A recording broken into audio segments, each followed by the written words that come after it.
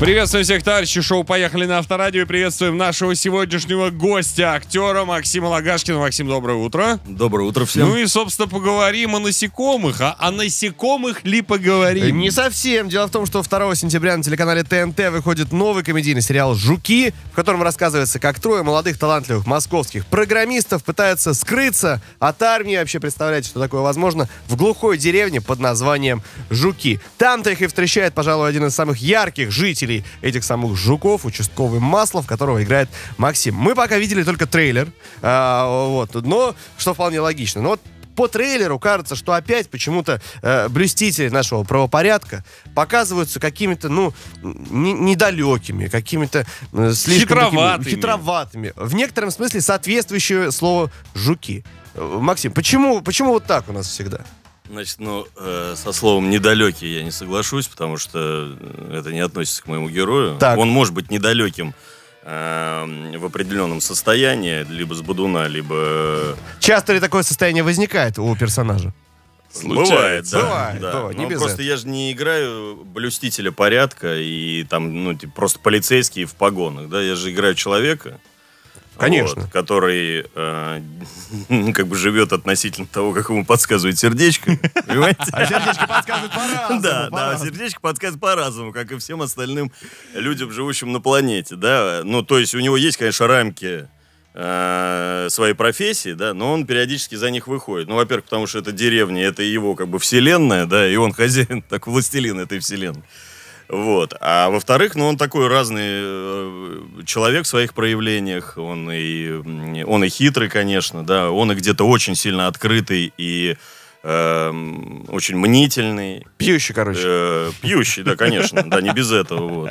Но по делу, он к месту пьющий и по делу. И опохмеляющийся тоже по делу. Исключительно Ис- по делу. Вот что интересно, как мы поняли, по сценарию деревня Жуки находится в Саратовской области. Мы уже вне эфира начали это обсуждать. Так. Но съемки проходили в Калужской. 64 дня съем- э, съемки, да? Уникальная ситуация. Понятно, почему европейцы снимают условную Москву где-нибудь там... э, Варшаве в, Варшаве, любят, в да, Будапеште, Будапешт. где угодно. Потому что в Москве тупо дорого очень. А почему Калужскую, о, сам, э, Саратовскую область снимали в Калужской области? Ну, зна- я вот, кстати говоря, вы мне сейчас открыли какую-то э, тайну. э, Какую? Что у нас, э, типа, Саратовская область. Ну, На самом деле, я первый раз об этом слышу. Да, не знаю. вот вы оправдываете своего пьющего персонажа в данном случае, Максим. Вот. А, Но мы же снимали сначала пилот вообще в Касимове. Вот. И там тоже замечательные места. Но потом вот э, продюсер и автор Макс Пешков и Сергей Нотариус там и- искали места другие, э, ну, разно, по разным местам ездили. Вот. э, И э, нашли замечательное место. И открыли Под- Калужскую область. Открыли Калужскую область, да. Но там просто потрясающие места. Честно говоря, м, мне напоминает Тоскану. Слушайте, а это, а это живая все, живая это деревня? все живая деревня. Это, Были вс- ли- это вообще, я вам так скажу. Так. Вот я просто смотрел на презентации, э, э, когда у нас было это, ну, Неделю короче, назад, неделя да. назад, да. А, на большом экране смотрел. И я сижу и говорю вот ребятам, э, вот сто процентов подумают, что это нарисовано. Но нет ничего нарисованного. Кроме надписи «Жуки», да, которые бетонные стоят в этой природе, а, ничего нарисовано нет. Все эти панорамы абсолютно живые, и вот эта вот красота, которая простирается туда глубоко-глубоко в горизонт, это все натуральные виды. А это деревня действующая, то есть там живут люди? Но Ну, мы, или, или но это мы снимали в нескольких такие? деревнях. Так. И из вот этих нескольких деревень, э, кусочков вот этих, э, да, как бы одну. собрали одну нашу деревню Жуки. А, красота там просто неимоверная. Слушайте, а вообще, вот как вы думаете, если бы три реальных программиста э, выбрались из Москвы, ни разу не выбираясь из Москвы до этого, выбрались, оказались бы вот в такой глухомане, да, что называется, как долго бы они э, продержались, потому что вот даже в трейлере видно, что они почти сразу начинают сходить с ума, то что, а может быть еще и вот так. Ну, я думаю, что это вообще просто не исключено, но, но это реальность. То есть есть альтернативная служба, да, и вполне возможно, что они могут совершенно спокойно три этих кренделя попасть в такие обстоятельства. Вот. Там, в принципе, э, конечно, есть вымышленные моменты, но то есть, вы посмотрите, там максимально все приближено к реальности. Все эти персонажи абсолютно узнаваемые. Ничего там нет. А давайте перечислим еще несколько персонажей, кто там Да. еще помимо вашего участкового. И Кого троих играет, геймеров. кого играет Владимир Епифанцев? Епифанцев играет Толика. А, Ну, конечно. Он так. такой, значит, это уголовничек такой, вернувшийся из э, мест э, заключения. Вот он играет э, мужа, значит, продавщицы Ирки, которая, в свою очередь, является моей женой по жизни, Екатерина Стулова. А, Значит, Екатерина Стулова, которая играет Ирку, продавщицу Сельпо. А, Потом, э, господи, ты боже мой, сейчас, это, сейчас. Ну, давайте так, тяжелее быть э, ярче Толика. Ну, в принципе, по жизни. А если как бы еще Толик Епифанцев? Епифанцев. Да, Толя Гибю, да. А, Кто еще? Ну, вот у нас три. Ну, значит, Виктор Бычков играет батюшку. Вот, Игорь Верник играет... э, м, Игорь э, Верник играет кого? Игорь Верник играет инвестора, но вы даже себе не представляете, Как он это э, делает? как- вы не видели никогда такого Игоря Верника и что с ним происходит э, с его персонажем, значит, на протяжении всей истории. Вот, это героизм, на который он отмажил, отважился и вообще молодец большой.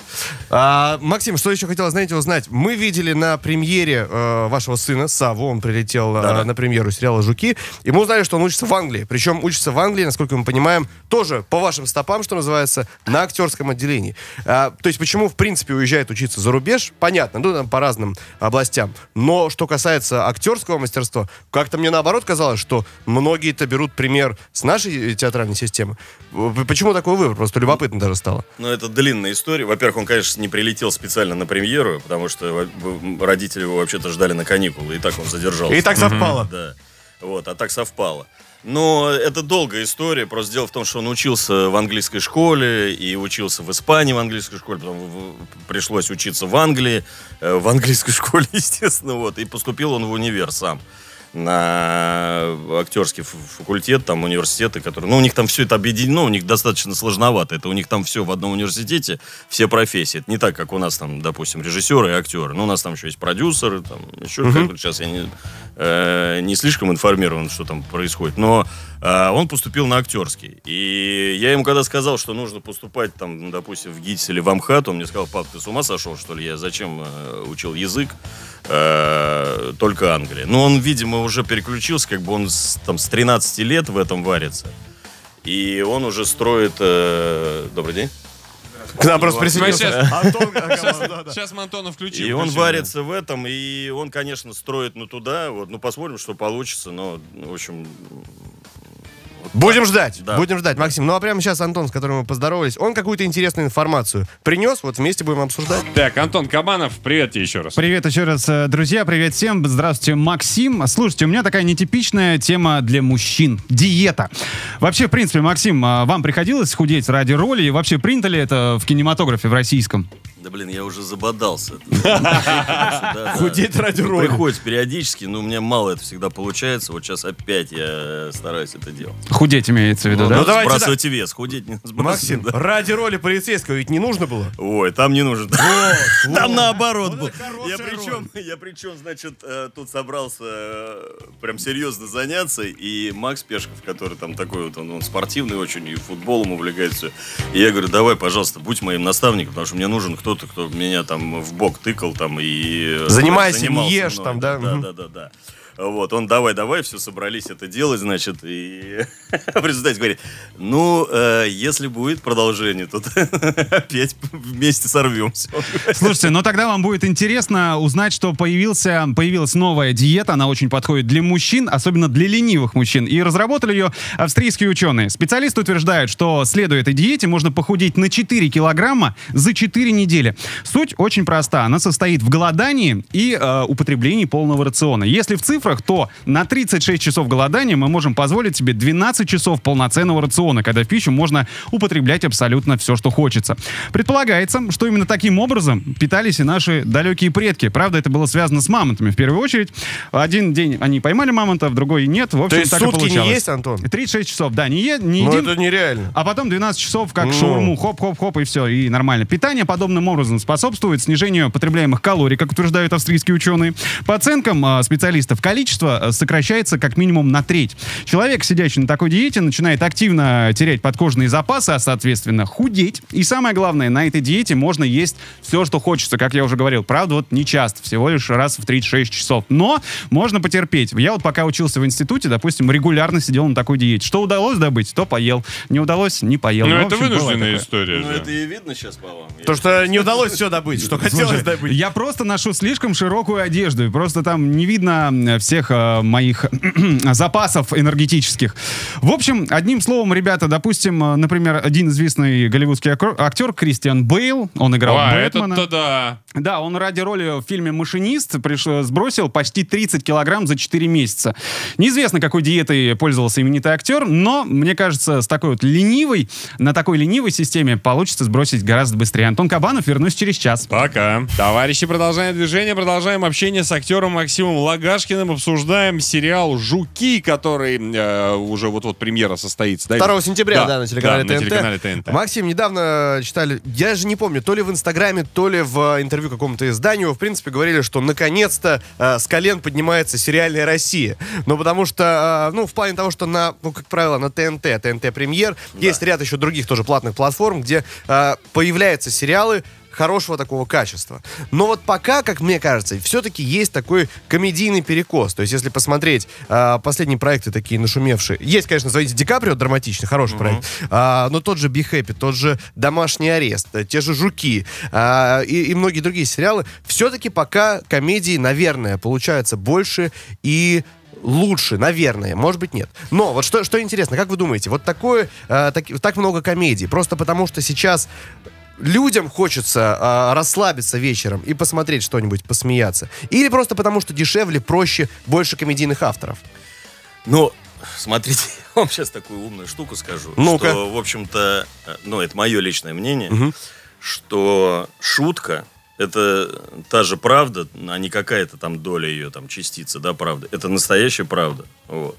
И как бы через юмор э, донести э, правду нашего сегодняшнего дня, да. и- Иногда горькую, иногда... да, нет. иногда горькую, правильно вы говорите, иногда не горькую, иногда сладкую. Вот, э, гораздо э, интереснее, да, зрителя, что ли, для зрителя по восприятию, да, э, чем э, ну, какую-то тяжелую там драму, да, потому что тяжелую драму тоже даже надо еще уметь снять, чтобы она тоже повоспри- воспринималась легко, ну, как зрителю, да, потому что сидеть и э, у экрана смотреть, как страдают артисты, и самому и, и входить в этот депрессняк, там, допустим, ну, это вообще вот лично не мое, потому что дра- драма тоже должна восприниматься легко. Но все э, фильмы, которые вы сейчас назвали, они не совсем не в полной мере комедии, за исключением «Жуков». Хотя в «Жуках» там тоже есть такие легкие щемящие моментики, да, я не скажу, что там огромные какие-то куски, а есть там моментики. Вот. А вот то, что вы назвали, там и домашний арест, и звоните Ди Каприо. Ну, да. Ди Каприо Ди. Каприо Комедия это вообще драма. Драма, да. да, Там да. есть какие-то э, за счет э, некоторых ролей э, артистов, да, там есть комедийные ситуации. Нет, глобально это драма, безусловно, да. Вот. Be Happy это тоже э, не в полной мере комедия. Там комедия может быть только в какой-то степени э, моего персонажа. И то там тоже есть, я надеюсь, там какие-то щемящие моменты. А Be Happy это вообще, э, мне вот нравится определение, драматическая комедия. Не драмеди вот это вот, знаете, вот это, а драматическая комедия. Ну, то есть, грубо говоря, это жанр там э, нашей жизни, да, у нас есть и то, и то. Ну, Причем в случае и вот э, с Би Хэппи, и в случае с э, домашним арестом, да, который годом ранее вышел, Ага. это э, как бы много юмора на тему нашей политики. Э, и, наверное, по-другому, как бы ты же не будешь э, совсем грустно рассказывать о политике. Наверное, там смешного-то мало, но вот действительно, как вы говорите, в таком ключе это подать можно, так что это будет и весело, и понятно, и как бы Да, ну, каждый домашний арест, он вообще в себя много жанров таких, ну, скажем, вобрал. Там не тоже... Ну, это сатира чисто- такая. Сатира, Ну, да. это, во- если уж Отчасти, да. совсем обобщить, то, Да. ну, да, ну, типа сатира. Потому что это на злобу дня, там, тра-та-та, Да. вот это вот все. А что касаемо, вообще, если относиться к этому как к кино, то это, конечно, не чистая э, комедия. Это тоже, тоже драматическая романтическая комедия, там тоже происходят э, разные вещи жизни. Максим, а такой вопрос. э, Вот все сериалы, которые мы сейчас перечисляли, это действительно, это достойные произведения э, киноискусства, сериального искусства, как угодно. Но ведь далеко не все, что выходит на российское телевидение, таково. Я бы даже сказал, что, наверное, все-таки львиная доля, если брать вот просто хронометраж в минутах, львиная доля — это прям любовная любовь. Это прям вот такое, что Ну ты да. не понимаешь, зачем это? Было вот у вас такое, когда Да. вы начинали Но- сниматься и но понимали, любовная что... любовь, это я, я лично называю колготы любви. Колготы любви. Э, Вот, это, э, ну да, конечно, ну там, мне, допустим, это вообще крайне не интересно. Но есть, давайте так, это с уважением, да, потому что если это идет, значит, у этого есть своя аудитория, и пусть она, может быть, потихоньку вымывается, вымывается за счет тех картин и такого уровня, который вы сейчас назвали до этого, да, но это все равно еще существует, это еще какое-то время останется. Я думаю, что это останется, потому что, ну, что уж говорить, как бы для, Вот кто этот для зритель? домохозяек. Для Ну, домохозяек, да? Ну, это, знаете, это такой фон, ну, как бы м, стоит там, что-то Режет делает, э, капусту и режет, звучит, гладит, да. да. и идет это. Я люблю тебя, ты любишь меня. Но вот каждый актер через это вынужден А? пройти или нет? Каждый актер через это вынужден пройти. Ну, ну, как понять вынужден? Ну, кто-то как бы... Ну, как нет работы, нужны деньги. Ну вот да, предлагают ну, вот вот наверное, историю. конечно. Ну, ну, ну да, да, может быть. Вот. Я там чуть-чуть так прошел по касательной. Ну, тяжело мне было находиться в этой атмосфере, но я так как-то с юмором прошел по это. Но это было давно.